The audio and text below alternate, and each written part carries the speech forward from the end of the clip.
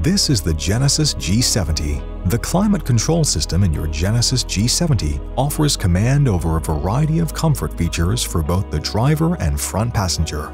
First, start the vehicle. Press the AC button to turn on or off the air conditioning system. Next, turn the temperature dials to the desired temperature for the driver and front passenger. Decide between either fresh or recirculated air. Press the fan icons to adjust the fan speed. To adjust the airflow direction, touch the wind icons on the climate control information screen to select the airflow direction. Up to three modes can be selected at the same time. The sync button enables the same climate settings for both the driver and the passenger. Note that sync will turn off automatically if the passenger selects their own temperature.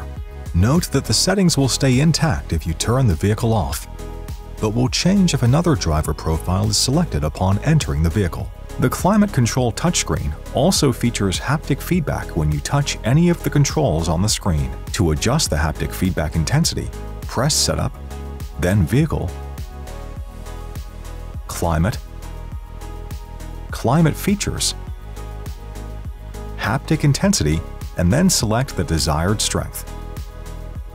Your Genesis G70 is also equipped with an automatic climate control system where your vehicle will cool or warm your interior cabin to the desired temperature. To initiate the auto climate control, first start by pressing the Auto button.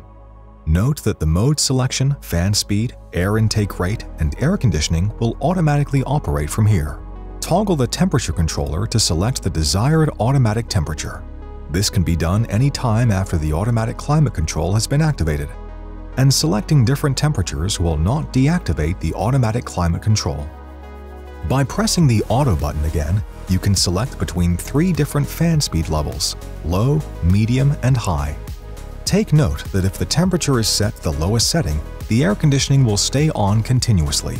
Pressing the mode selection, front windshield defroster, fan speed control icon, or AC will turn off the automatic climate control. If equipped, front seat heating and cooling can be adjusted by pressing here for heating and here for cooling. Each press will cycle through three levels of strength and can turn the function off. Switching between seat heating and cooling is also possible by pressing the opposite button. The steering wheel heater can be turned on, set to a stronger level, and turned off by toggling through this button. Finally, windshield defrosters can be toggled on and off by pressing here for the front windshield and here for the rear windshields.